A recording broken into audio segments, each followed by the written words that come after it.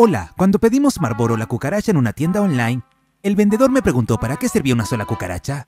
Le dije que era para un video de YouTube. Entonces me preguntó, ¿y no quieres comprar una mantis religiosa a mitad de precio? Solo nos queda una. Y le pregunté, ¿qué es? La mantis religiosa es un escarabajo muy interesante que caza otros insectos. Los videos con su imagen serán muy interesantes. Necesitamos videos interesantes, así que le dije que lo enviara también. Junto a la caja con la cucaracha había una pequeña caja de cerillas, y en ella había un pequeño animal. Maldición, pensé que la mantis religiosa era más grande, pero es tan grande como una mosca. Es bueno que haya llegado hasta nosotros. Vivir en una caja así probablemente no sea muy agradable. Es tan pequeño y lindo. Su longitud es de solo un centímetro y medio. Veremos cómo crece. Parece que le gusta la cámara. Afortunadamente no puede saltar.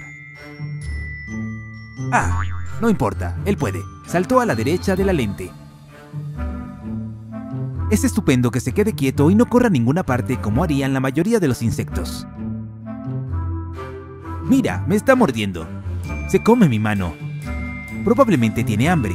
Tenemos que conseguirle algo de comida. ¿Y qué será? Hemos cazado una mosca de la fruta en la cocina. Son muy pequeñas y esperamos que pueda comerlas.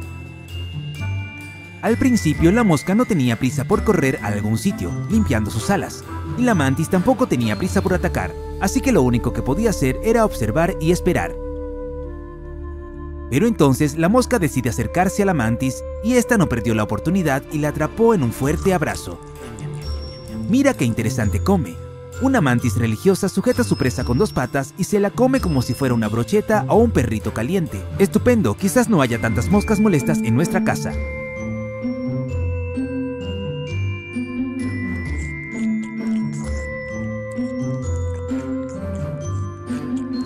Luego se comió otro y me pareció que había tenido suficiente. Pero ahora había que resolver el problema de su casa. Después de todo, no quería volver a meterlo en la caja. Conseguimos un pequeño terrario de acrílico en una tienda de mascotas local.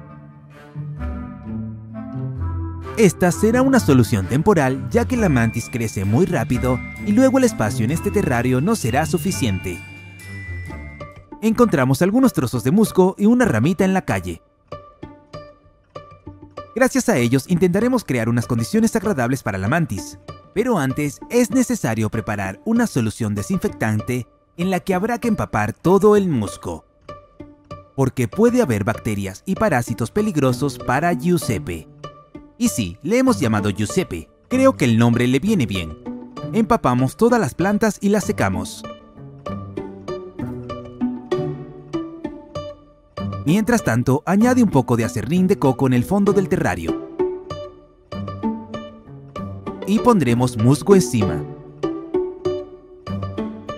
A las mantis les encanta la humedad, así que les dejamos caer unas gotas de agua sobre el musgo para que esta humedad se evapore poco a poco en el aire y también al mismo tiempo nutra al musgo para que dure un poco más. Vamos Giuseppe, ve a tu nuevo hogar.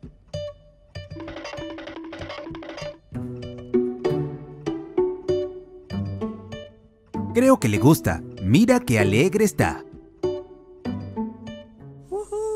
Al día siguiente se planteó de nuevo la cuestión de cómo alimentar a Giuseppe. Decidimos ir a cazar en lugar de él. Armados con todo lo necesario, nos dispusimos a capturar algunos insectos para él. Es bueno que los mosquitos organicen una fiesta al sol en la tarde. Después de algunos intentos atrapamos a unos cuantos. Así que, querías morderme, ¿verdad? Ahora te morderá una mantis.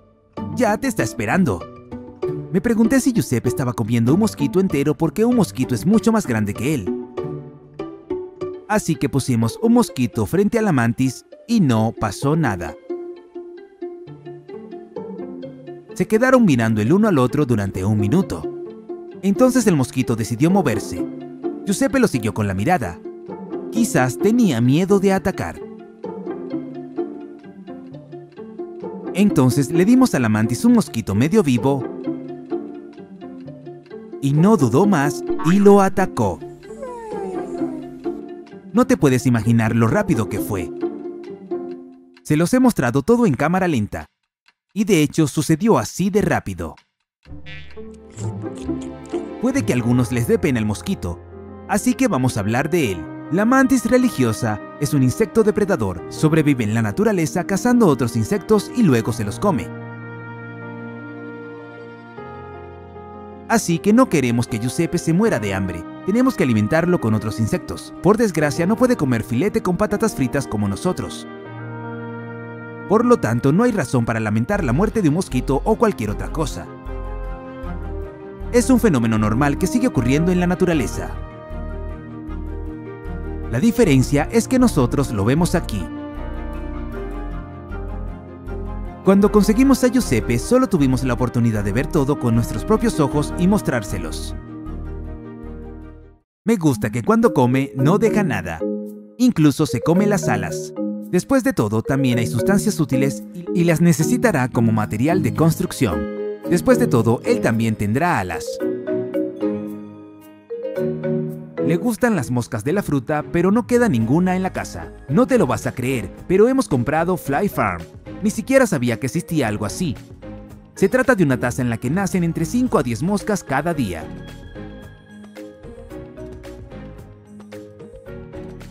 En el interior hay algo parecido al heno, y en el fondo se vierte algún sustrato nutritivo.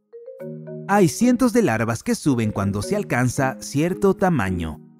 Dentro de esta pupa se encuentra el cuerpo de la larva, que gradualmente se transforma en el cuerpo completo de una mosca. En pocos días saldrá de su pelaje y se posará en el heno. Entonces esta mosca pone huevos y el proceso comienza de nuevo. Obtenemos una producción interminable de pequeñas moscas. Es sencillo e ingenioso. Por cierto, se trata de moscas de raza especial que tienen alas pero no pueden volar.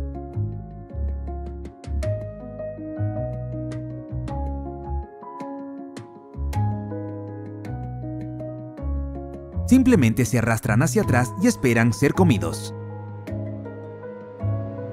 Esto simplificará mucho el trabajo de Giuseppe.